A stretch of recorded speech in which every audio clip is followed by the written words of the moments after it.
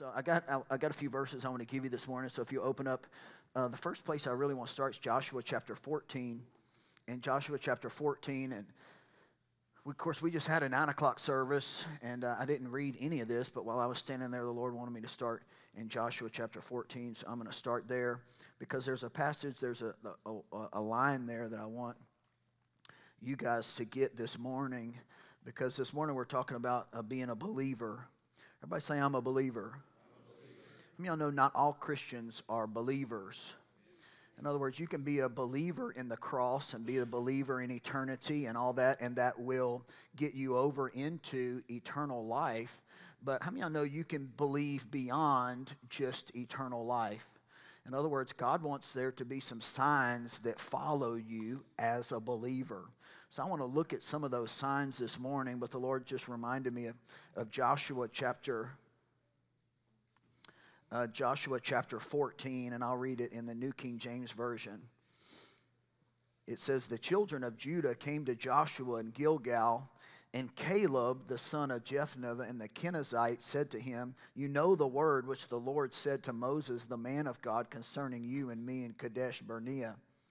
I was 40 years old when Moses, the servant of the Lord, sent me to Kadesh Barnea to spy out the land. And if you remember this story, God said, Hey, I've got something for you. And, and uh, Moses sent 12 spies into this land that God had for them so that they could spy out the land and see what kind of land that it actually was. And the 12 spies that went out, they looked at the land and they came back and they told Moses and told everybody, they said, they said this land, it's, it's unbelievable. The dirt is different than other dirt.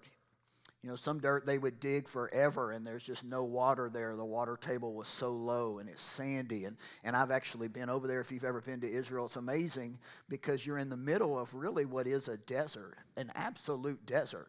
If you go to Afghanistan, Iraq, Iran, all those places, whenever you're flying into Israel, there's just desert.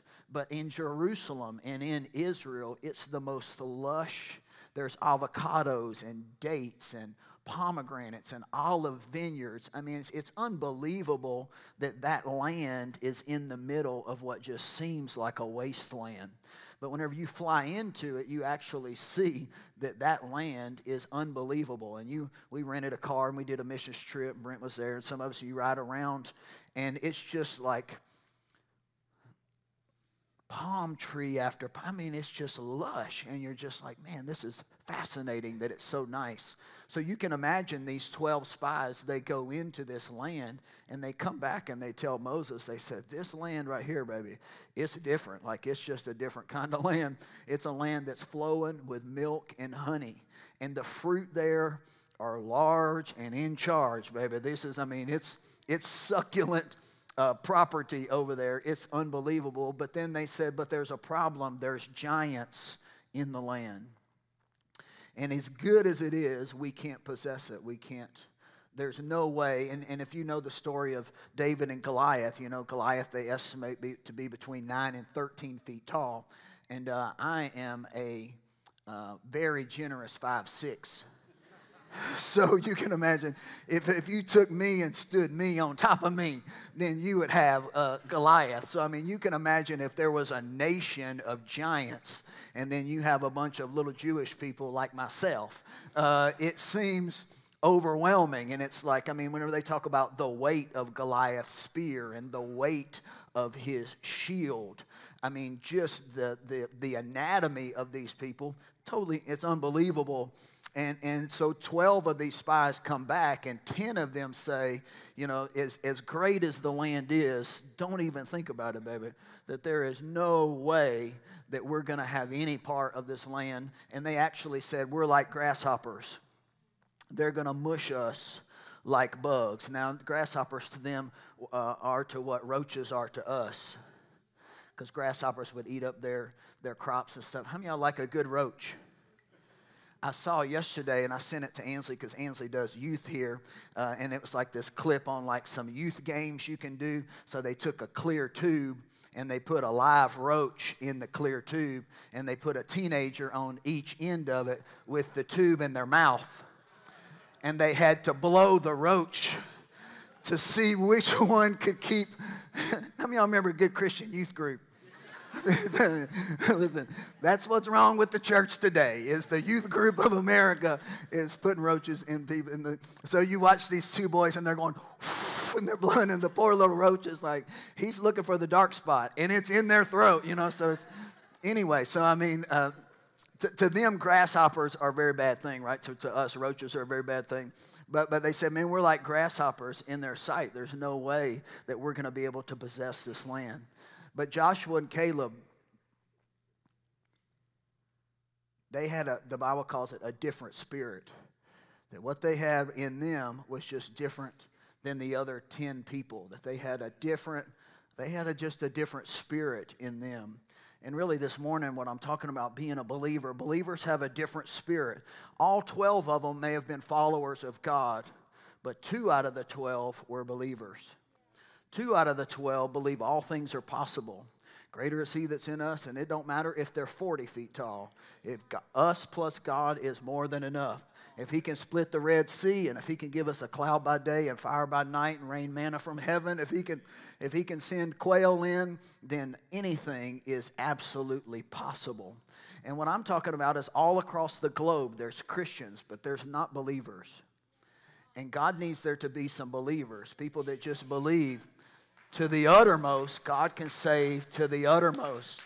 And there's a lot of good Christian people, and I think that's amazing. And all of us have to start there in good morals and good character and all that. But there's got to be a remnant. There's got to be somebody that, that's a believer that just says, you know, I, don't, I know that it looks like the chips are down, and I know it looks like they're 13 feet tall, and we can't even pick up their sword in our own strength. But I believe David had a different spirit. I mean, I know he had a different spirit when he ran at Goliath. He just had something that his brothers didn't have. And you're, I, I, I believe I'm talking to people that have something that your other brothers just don't have. Your other sisters may not have. And if you're not there yet, that's okay. And I'll show you some scriptures here of some others that weren't there. But at least they had the, the, enough sense to say, Lord, help my unbelief. Lord, help my unbelief that this is an area that I'm not strong in. Help my unbelief. I don't want to die an unbeliever. Help my unbelief. Because these two boys, Joshua and Caleb, they just said, Let us go up at once and possess the land. It said, It doesn't matter how big they are. God said it's ours. Let's go get it. And I know it's occupied by the enemy right now. But the enemy doesn't have a doesn't stand a chance if Jehovah's on our side. And so Joshua now he's testifying, and, and he's that they've crossed over into the promised land. They've come, Joshua and Caleb, they've come, and he says, You know the word that the Lord said to Moses, the man of God, concerning you and me in Kadesh. I was 40 when Moses sent the servant of the Lord to Kadesh Barnea to spy out the land and brought back a word to him. It was in my heart. But my brethren who went up within me, who went up with me, made the heart of the people, the people melt. When they saw the giants, man, their heart just melted. They just lost all faith. But I wholly followed the Lord my God. So Moses swore on that day, saying, Surely this land where your foot has trodden shall be your inheritance and your children's forever, because you have wholly followed the Lord my God. And now, behold, the Lord has kept me alive, as he said, these 45 years. So 45 years have passed. Now Joshua and Caleb, they're 85 years old, and they're finally about to step over into it. How many of y'all know that this is a long game? It's a long man's game. I think a lot of times people get saved and they get born again and they expect things to radically turn around in 12 months. You know, God said you speak to a mountain and it will move. I mean, I know it takes a long time for mountains to move. You go drive through Colorado, and it, for them to build a road through the Rockies, it didn't happen in one afternoon. I mean, they had to blow some stuff up. They had to truck it out and blow some more stuff up and truck it out and blow some more stuff up and truck it out. But eventually, how many of y'all know we all drive on it? Eventually, we all we all get through. Now there is a way through it. So there is some mountains. It takes a while. So 45 years later, he says, the Lord's kept me 45 years since the Lord spoke this word to Moses while Israel wandered in the wilderness. And now here I am this day, 85 years old. I love this. And yet I'm as strong this day as on the day Moses sent me. Come on, how many y'all want that to be your testimony? I'm as strong today as I ever was. Now is my strength for war. Come on, make me want to throw my iPad, but it costs too much. Can't break it. He said, Man, I'm ready for war at 85. For going out, for coming in. Now, therefore, give me this mountain of which the Lord spoke in that day. For you have heard in that day now how Anakim were there, and that just means giants. How many of you know if you watch Star, Star Wars now, you know they get all their names, the Anakins and all that, all that stuff comes out of the Bible. It's kind of fascinating. Anyway, side note. That the cities, they were great and fortified. And it may be that the Lord will be with me, and I will, sh- I will be able to drive them out as the Lord has said. So at 85, he said, Maybe I'm ready. Give me this mountain. And what I want to talk to you just the next few moments is uh, there's a tendency to lose that spirit of, Give me this mountain. That time can pass on and things can, disappointment and things can happen, and we kind of lose that spirit of Joshua and Caleb that just says, Give me this mountain.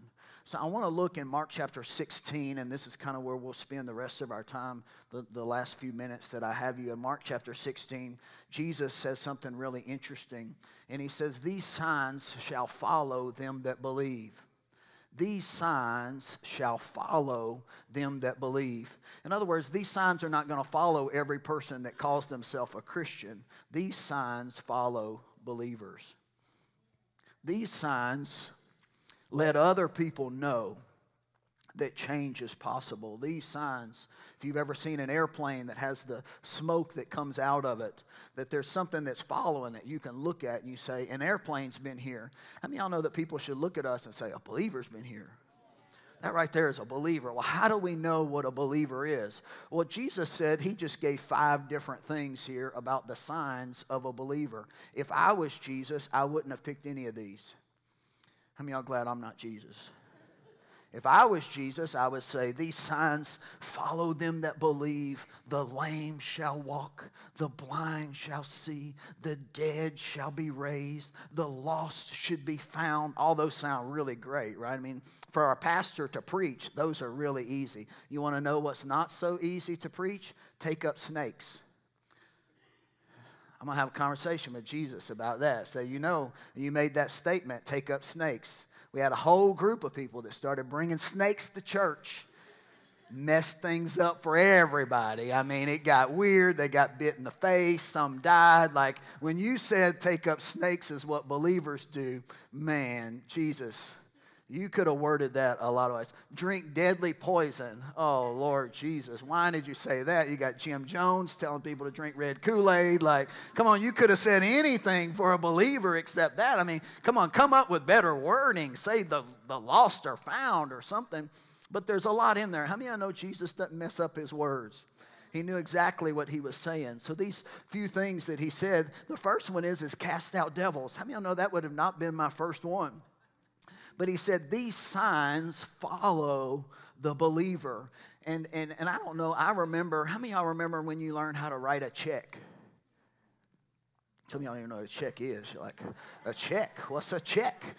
I get direct deposit, or right? You know, do y'all do tap? You know, you just tap now. You don't even got to write check. But I remember it was a big deal whenever I got a checkbook. I remember practicing my signature right? Because I wanted it to be right. You know, I wanted a cool signature. I remember being in class and, and writing, practicing my signature. I remember writing my first check. And how many of y'all know you got to sign the bottom of the check? And that signature there authenticates the check. If you can write whatever you want in there, if the signature's right there, it's not valid. How many of y'all remember cashing a check? Again, I know some of you young people have no idea what it's like to go to Wal, uh, to go to Walmart or Kroger and go up to the service desk and cash that paycheck, baby. Sign the back of that. Sign the back of that from El Chico's, my waited tables. $2.13 gonna go cash that $40 check, right? You sign the back of that check. But, but what, so what I want you to know is this God has a signature too. And God says, My signature follows the believer. That my signature authenticates the life of a believer. And that if people will step out and be a believer, I'll sign that check. I'll, there'll be my sign or signature. How many of you know the, the root word of signature is sign? There are certain signs that follow the believer. God's signature follows the believer. The first thing he says is that he says he'll cast out devils. Now, that doesn't mean that we go looking for devils, but that does mean we have power against them. And all that means is, is that a believer is not always on the, the defensive. How many of y'all know believers are on the offensive? A believer knows that I can resist the devil and he will flee from me. A believer knows that there is a name that's above every other name. And at the name of that, demons flee. At that name, knees bow. That there is a name that's above every other name. And believers don't just allow things to happen to them all the time. At some point, and you've seen these shirts, there is a, there's a new saying here that says, Not today, Satan. How many y'all heard that before? Come on, that's the words of a believer right there. The believer says, Not today, Satan. As for me and my house, we're going to serve the Lord. As for this mountain, it's going to move. As for this situation, it's going to change. Come on. A believer is somebody that knows how to resist and say, You know what? I'm not going to allow this to contaminate or pollute. This temptation, I'm not going to struggle with this for the rest of my life. I, am going to learn how to resist that. Well, how many of y'all know there's a lot of Christians that just live with they just live their life with que sera, sera. This is this is the, the, hand I've been dealt, and this is the way it'll always be. But how many of y'all know Joshua and Caleb? They just had a different spirit. David stood up and said, Who is this uncircumcised Philistine that defies the covenant of our God? He just had a different spirit. And I, I believe in, that the church, I mean, I know the American church, we need, we need, we need the church to wake up and not just be good good moral Christians. Certainly we do. But we need the church to wake up and actually be a believer and allow God's signature to come behind them and authenticate their, their, their walking with the Lord. The second thing he says is that not only that, he says that they'll speak with new tongues. Now, this is not just tongues like the way we think of tongues. How many of y'all know a believer has a new language? The moment you become a believer and, and, and, and not just like, well, I just want to do a good moral duty and go to church, believers sound different than unbelievers. Believers understand whosoever shall say unto this mountain, Be thou removed and be cast to the sea. Believe in the heart those things he says come to pass. Man, he can have whatever he says. That, that this mountain, it seems immovable, but baby, I can speak to that mountain and it will move. So believers know how to get their mouth moving the right direction with their faith, but also with their love. They learn that I can't always return evil for evil and railing for railing. At some point, I got to tame the tongue, not just be negative Nancy like my crazy aunt. I'm going to have to be the one person in the family that has the mouth of a believer. Jesus said, Hey, hey, hey, if anybody, if anybody will ask, ask and believe when they ask, whatever they ask for, I'll give them. How many of y'all know a believer is a person of prayer that believes like I can pray for somebody in Africa and it changes things. I can pray for my kids that I haven't even had yet and it changes things. I can pray for my kids to pick the right college and they're only six years old. Come on, believers understand that there's a new vocabulary, there's a new language, there's a new sound. Give me this mountain. And the sound that came comes out of a believer is just different than the sound that comes out of other people. That believers that they recognize, man, I can resist the devil, he'll flee from me. I can pray, I can pray. Can these bones live? Come on, a believer is somebody says, I prophesied to those bones. And there started a rattling, and then this bone came to that bone, and skin came up over them, and what was dead became an army. Why? Because I'm a believer. And God said, prophesy. So when I prophesied something, there was a rattling, there was a change. And then he says the, the, the, weird one is, is take up snakes. And the reason he says take up snakes is it's not that he wants us to go get a bunch of rattlesnakes. Everybody say, Amen. Aren't you glad that's not what he meant? But how many of y'all know the, the idea of picking up a snake mo- makes most people's skin crawl? If I threw you a snake, you wouldn't catch it. Right? You would move. Right? You would move and call Morris Barton, and sue me because I threw, especially if he was poisonous. But even if I threw you a garter snake, most of you would run and scream. Because the idea of taking up a serpent is totally. How many of you know the Bible has given us a different kind of spirit? And he says it's not a spirit of fear, it's a spirit of power and of love and of a sound mind. So whenever he says take up serpents, he's not talking about everybody go grab a snake crazy. No, no, no. He says, but the thing that seems like, like, like you could never do, you could not lay hold on that, he says, no, no, no, you can. That, that, that, that, that land that's got giants in it that you think you can't lay hold of and possess, no, no, no, you can. That, that giant that's running at you that says that he's going to do this and he's going to do that. No, no, no, you can. You can lay hold on eternal life. You can fight the good fight of faith. You, you can possess that thing that he said for you to possess. It's actually it's absolutely possible. If you just look at Psalms 91, David just had a little different something. And if you look in Psalms the 91st I'm going to read it in New King James. They're going to put it up on the, the screen behind me if you don't have your Bible. And uh, if you don't have a Bible, we'll give you one after church. You can go out back. But it says, He who dwells in the secret place of the Most High shall abide under the shadow of the Almighty. I will say of the Lord, He is my refuge and my fortress. Let's say that together. Everybody say, He is my refuge. He is my fortress. My God, in him I will trust. Surely he will deliver me from the snare of the fowler and from the perilous pestilence. He will cover me with his feathers, and under his wings I take refuge. His truth is my shield and buckler. I'm not afraid of the terror by night, nor of the arrow that flies by day, nor of the pestilence that walks in darkness nor of the destruction that lays waste at noonday. A thousand may fall at my side, and ten thousand at my right hand, but it will not come near me. Only with my eyes will I look and see the reward of the wicked. Because I've made the Lord my refuge, even the Most High my dwelling place. No evil shall befall me, no plague shall come near my dwelling. Come on. He gives his angels charge over me. Come on, a believer is aware of angelic activity. A believer realizes I am not alone. That there's angels in this room. I've got supernatural angels watching over my kids, watching over my future. Come on, and my angels aren't just leaning on the back wall, like they're on assignment, right? Next part. They keep you in your way.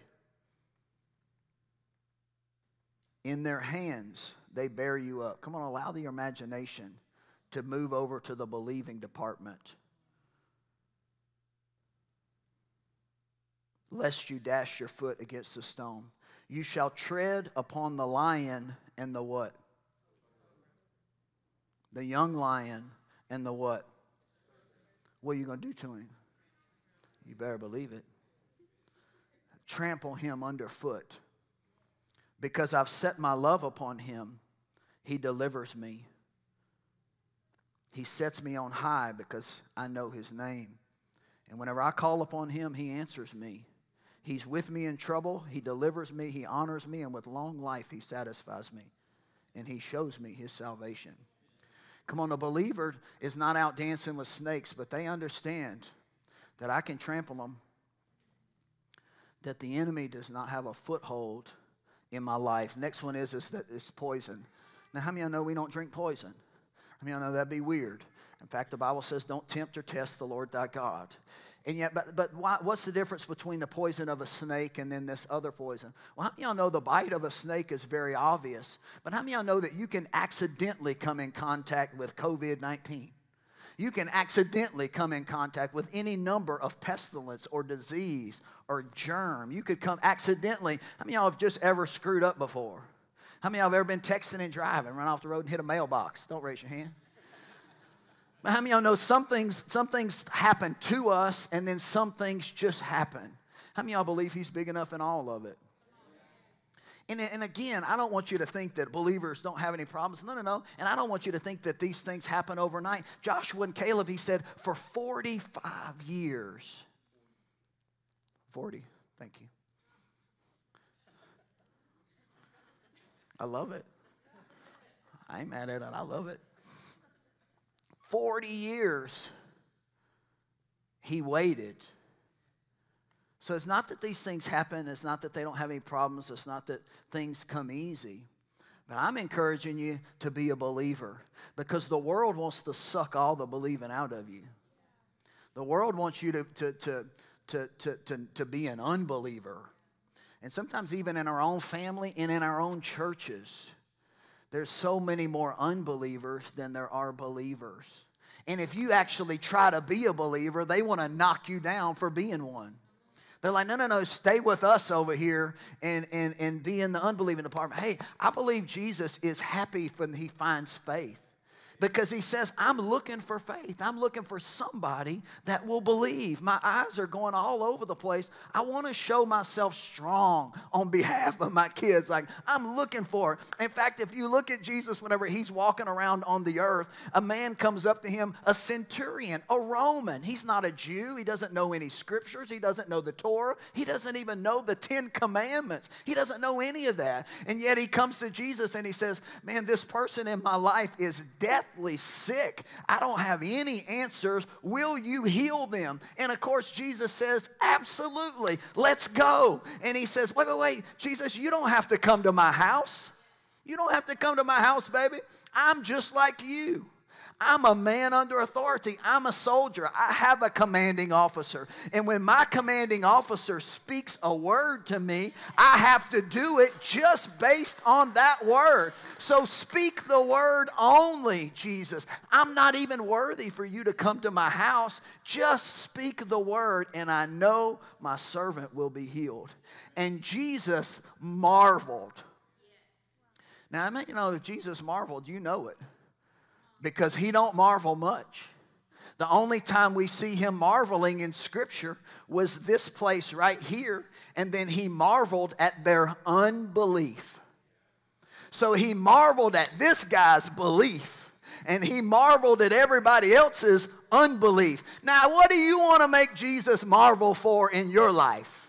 Your belief or your unbelief because that's the only places where he's marveling is either you're make either he's either he's big in your life or he's not and Jesus turns around and he marvels and he tells Peter, James, and John and all the other boys that's been riding with him for the last three years and says, I have not found faith like this in all of Israel.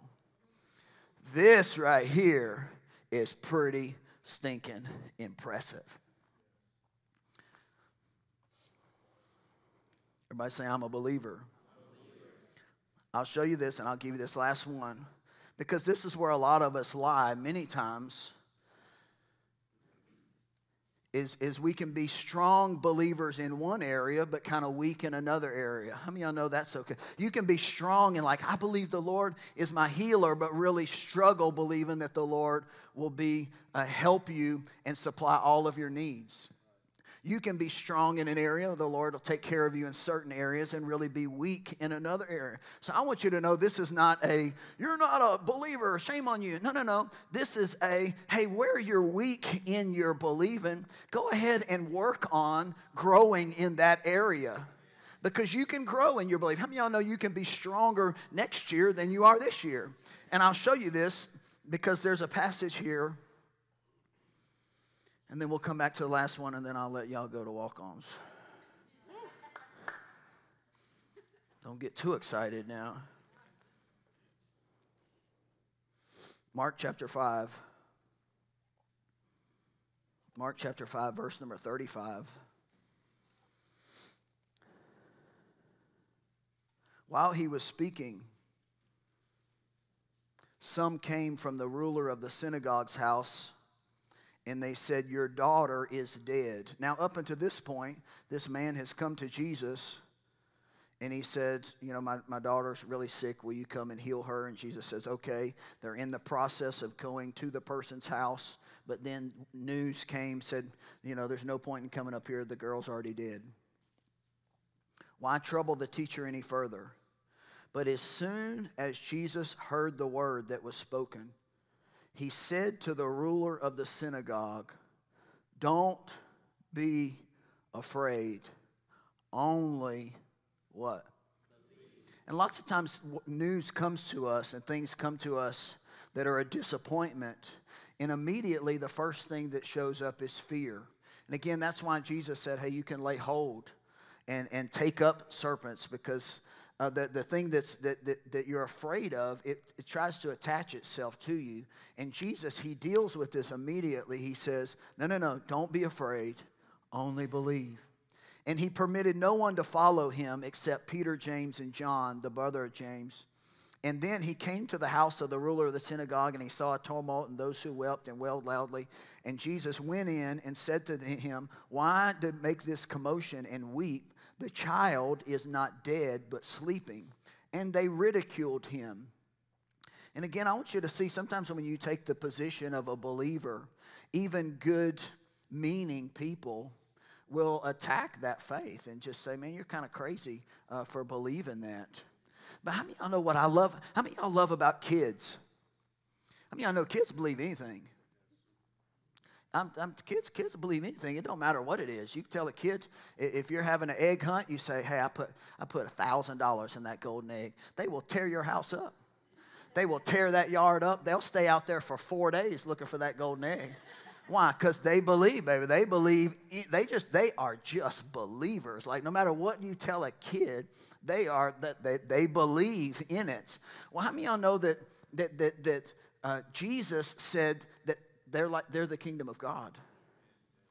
That kids understand the kingdom of God.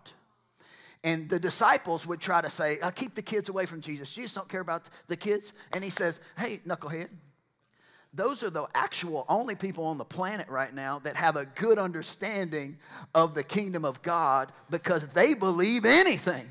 They're quick to believe. They're look. They're excited to believe. I mean, uh, how many? You know, everything's up whenever you're a kid, and you wake up, shine up. Everything's up, and then as a, as a parent, it's like sit down, calm down, hush down, pipe down. Come on, it's the opposite between parents and kids. For a kid, everything's up, and we believe everything, and for a parent, it's like sit down, shut down, blah blah blah blah blah blah. How many y'all know Jesus wants wants all of his kids to be like, man anything's possible. Like, there's just no telling what God might do today. There's just no telling what, whoo, man, we just do anything today. I was talking uh, to Matt, and we had lunch a couple weeks ago, he's like, man, I read the whole book of Acts.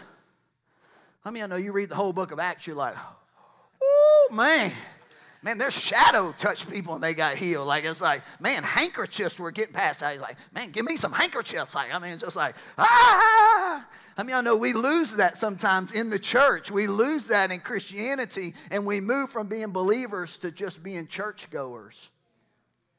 But God likes to rattle the bones sometimes and say, hey, hey, I'm looking. I want to show myself strong on behalf of believers. Like elevate your believing a little bit, like, like lift up your believing some. And the last passage I'll give you is a, is a man where a lot of us kind of, Mark chapter 9, verse 17, it says, One in the crowd answered and said, Teacher, I brought you my son He has a mute spirit. It seizes him, it throws him down, and he foams at the mouth, and he gnashes his teeth, and he becomes rigid. You can imagine he's having like a Bell's palsy, some type of uh, seizure. But you'll see here it's actually it's it's rooted in the demonic. So he says, So I spoke to your disciples, but they couldn't cast it out. And Jesus answered and said, O faithless generation, how long shall I be with you? How long shall I bear with you? Bring him to me. And then they brought him to him, and when he saw him, immediately the spirit convulsed him, and he fell on the ground, and he wallowed, foaming at the mouth. And Jesus asked the father, he said, How long has this been happening to him? And he said, From childhood. And he's often he's been thrown into the fire and into the water to destroy him. I mean, I know this boy gonna have quite the testimony. Boy, you talk about a testimony. And I don't know what he looked like after throwing himself in the fire. I don't know what he looked like after throwing himself in the water, but you can imagine after his deliverance. And Jesus said to him, and, and watch, I love this. He says he's thrown himself in the fire and into the water to destroy him. But if you can do anything, Jesus, have compassion on us and help us. But while watch, Jesus is going to pass the ball back to him. He passes this into, he throws this to Jesus, says, Jesus, man, if you could do anything, his mother and I be really appreciative. Please help my kid here. But watch Jesus. Jesus throws the ball back to him. And he says, No, no, no. If you can, what? If you can believe, all things are possible to him who believes. And immediately the father of the child cried out and said with tears, and this is where I believe we all need to be at some point, where we just say, Lord, I believe, help my what? Unbelief. And all I'm saying is here today, wherever you're at on the believing spectrum, and maybe you're strong in one area and not strong in another area, at least follow the pattern of this man that cries out and just says, Lord, help me in this area. I recognize you said anything's possible to the believer, and I'm weak in this area of my belief. Help my unbelief. And Jesus saw the people, they came running together. He rebuked the unclean spirit, and he said to them, Deaf and dumb spirit, I command you, come out of him and enter him no more. And the spirit cried out, watch this, convulsed him greatly. In other words, the devil didn't leave without one last little temper tantrum. But how many of y'all know he has to go? He don't have a choice. He don't want to go, but he has to go. And he gives one last little convulse. And he came out of him, and he became as one dead. And many said, He is dead. But Jesus took him by the hand, lifted him up, and he arose. And when he had come out of the house, his disciples asked him privately, Watch this, why couldn't we cast him out? Why couldn't we do it? And how many of you know you need a curiosity about your faith that just says, I recognize it can be different than it is. What's the hang up? There's a hang up here. And how many of y'all know it ain't God? No, no, no. He'll tell you what the hangup is, and he tells them here, he says, this comes out by prayer and fasting. And what I like about that is, is you can grow from a place of unbelief in an area to a place of belief. And Jesus is telling you here, like, hey, hey, hey, you're, you're not equipped to this yet. But you can move into that place that you don't have to die an unbeliever. You can grow into being a strong believer in this area. And that's my encouragement to all of you is, hey, hey, hey, if you live in the unbelieving department, be the one person in your family that moves over to the believing department. And if you find yourself falling over into unbelief, read the book of Acts. It'll move you back into the believing department. Read the 91st Psalm out loud and make it personal. Though a thousand fall at my, my, my right hand, a thousand, ten thousand on the other, it won't come near me. God's given you the tools to move you back into that place. And the devil doesn't want you to live there. Why? Because anything's possible to that person.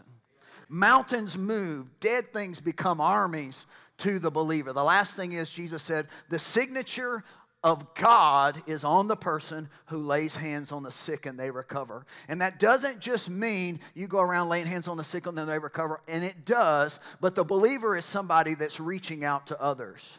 A believer is somebody that's looking for opportunities to demonstrate the love of God and the power of God to other people. And whenever you step out in faith to be a believer in that area, God will meet you there. And, and, even Elizabeth, she got up here at the nine o'clock and she said the Lord's been stirring her and she's on these prayer calls that, that the church needs to rise up in this area. And if you'll step out and be a person that's willing to just say, Can I pray for you? You don't have to know all of the fancy church speech. That just an act of obedience of being a believer, God says, I'll co- I'll sign that check, baby. Like I'll endorse that thing. You can cash that thing. Take that one to the bank because I can do that in your life. But a believer, you got to stretch forth. You got to step out at times and, and, stretch out your hand, and He'll meet you right there. Everybody say, "I'm a believer." I know you are. And if you're not, you've at least got enough sense to be like that daddy and say, "Lord, help." My unbelief in this area. Some of you, from a financial standpoint, and maybe not in this room, maybe somebody watching online, so I'm not thinking about anybody particular, so don't get the gift of suspicion. So, but sometimes we can we're, we're, we live with unbelievers and it's hard to break out. It's like, well, I've always lived in this type of house, on this type of place. I've never been a homeowner. I've never had a college education. I never had this. I never had this. And you can kind of you can kind of live in that place. But how many of y'all know God wants you to break out? God will help you break out. Or there's certain things that can run in the genealogy of your family from a health standpoint. You know, I have to get colonoscopies every five years. Uh, one of my favorite things to do. Just it's amazing. I mean, you get to drink this delicious cocktail and live in the restroom for like 12 hours. Ooh, it's just like, man, best time of my life. And then you get to go. I won't tell you what the rest of it is, but man, they really check you out really, really great. Reason being, I started doing this whenever I was 30, is because in the history of my family, there's a lot of a particular cancer and all this type of stuff. So I do my due diligence and get checked out. Well, how many of y'all know that can, that can really mess with your belief? A lot of little swirling birds flying around in your head. And if you aren't careful, they'll make a nest. How many of y'all know just because birds fly over your head don't mean you got to let them make a nest? You can say, shoo fly, like shoo fly. Like, like, I can't control the thought from coming, but I can keep it from making a nest. And so I you know, I do what I can do in the physical standpoint. I do everything I know to do, and we talked a little bit about that last week. You got to do everything you know to do physically, but at the end of the day, you need to switch from being an unbeliever over into a believer and have more belief in Jehovah Rapha, your healer, the great physician, than just uh, the other side, although we respect, and I wouldn't go to the doctor if I didn't. So that there, there's the working of both of it. But I would just want you to say, listen, if you're in a situation you're like, man, I just need help in my unbelief, well then join the club and and and and see that Jesus wants to work in your life. That the, he needs the church to not just be church goers, but he wants there to be evidence that a believer has been here that whenever you fly across the horizon of your life and family and business, there's the evidence of a believer there. That, that his signature is on your life. And if you get around people that, that have good results with God, you want to know why? It's not because they're pastors, preachers, teachers, evangelists, or super duper prayer warriors. It's because they're believers. It's because they, they're constantly moving and trying to live in that place that just says, man, anything's possible to a believer. And if that's not you, then that can be you, and you just keep working on it being you and uh, God's faithful. Let me pray for you this morning. God, we thank you for your house. God, we thank you for the entrance of your word, giving light and understanding. God, we thank you that your word is the foundation of our life. When we build our house upon your word, man, things change not just for us, but for those around us. That Joshua and Caleb, the choice that they made, it affected the generations that came after them. Then instead of the generations of the people after them living and dying in the wilderness, they moved into the promised land because of the choice that they made. God, that we recognize that the life that we choose to live, it doesn't just affect our own life, but it affects those that come after us, that those that live around us, the people that watch us, that the life of faith, that you showing yourself strong in the life of a believer, that it permeates every part, that that's where change comes. That unbelievers become believers when they come in contact with a believer. God, we recognize that, that all of us have come into contact with Jesus through the obedience of somebody else, that somebody told us, somebody invited us, somebody stepped out, somebody stretched forth their hand and brought the healing word of the gospel to us. And God, you require us to do that. God, we ask that you, you return childlike faith to us. That as we grow old, we grow cynical at times. But at 85, Joshua and Caleb said, Give me this mountain. I'm ready for war. God, that no matter how young we are, no matter how old we are, that we don't lose that spirit of if God is for us, it don't matter who's against us. Greater is he that's in us than he that's in the world. God, that we live and die as believers. That even in death, we win. That even in death, that with you we conquer all. Death, hell, and the grave, we conquer all. You took the keys to all of it. And that with you, the greater one lives in us. Come on, if you're here and you just say in any area, I don't care what area it is, I'm not going to embarrass you or call you out or whatever, but I do want you, if you're here and you just know, you just say, man, there's, there's at least one area where I need to say, I need, I need to cry out to the Lord and just say, Lord, help my unbelief. I don't want to die without growing in this area because I know it's available, it's possible. Help my unbelief. If you're here and you you say, Lord, I need help in an area. I'm asking you to raise your hand right where you are just say, Help me. Come on, most of us can find ourselves there at some point. God, we thank you that we're, man, we want to be believers. And we are believers as far as we know. So, God, we ask you to increase our knowledge, increase our understanding, increase our revelation if you're here and you're not a believer in in the cross, if you're say if you're here and you say, "Man, I showed up at church today. I've been in church a long time. I've never been to church," and you you don't feel like you have a relationship with the Lord Jesus Christ, I mean, that is step one, is believing in the death, burial, resurrection of Christ. If you're here, you feel far from God. If you're here, you feel like you don't know God, you don't have a relationship with God. If you're here and you don't feel like heaven is your home, if your heart stopped beating today, you said, I don't know if I have eternal life. I don't know if I, if, if I would go up or if I would go down. I don't know if, if, if I have eternal life. Jesus said, You can know you have eternal life. You can know. You don't have to guess. You don't have to wonder. And you don't have to think, well, I, I'm a pretty good person or I went to church. That has nothing to do with it. Jesus Christ and the cross is the only way you can have eternal life. And if you've never said, Lord Jesus, come into my heart, I need a Savior, if you've never made him your Savior, then please don't leave without doing that. If you're here and you say, I don't know if Jesus is my Lord, I'm asking you to raise your hand. Right? Look, as I look across, make sure. Anybody else? You say, man, I don't know if I have eternal life.